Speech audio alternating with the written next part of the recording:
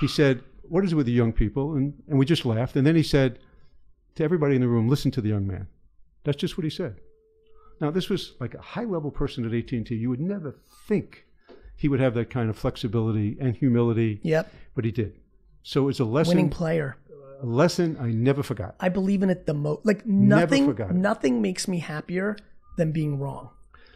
But I always wa- think I'm right. But Gary, if I wasn't Please. prepared and didn't have the self confidence, You would have never said it. I would have never. said totally it. get it, brother. I would have just moved my into man, the my man. conversation. Honestly, the like as somebody who's always thinks there's a second game in the room, this is basically how I live my life.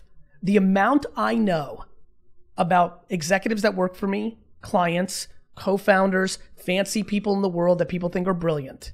The amount of things I know by asking a singular question in a meeting.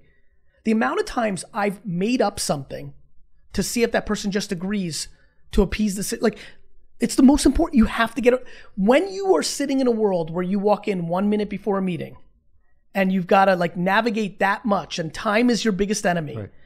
you, you have to create all these secondary skill sets to be able to understand the situation at hand i have an incredible read on humans based on moments like that